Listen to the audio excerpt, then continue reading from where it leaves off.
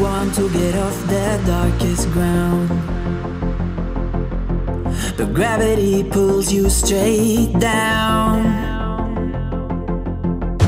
Earth from a bird's eye view.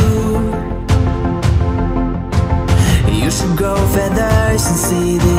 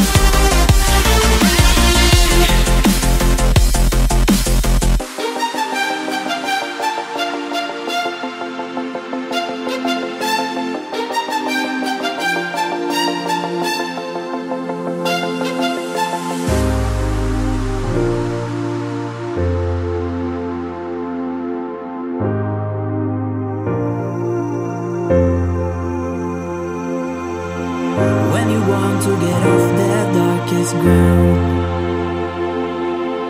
But gravity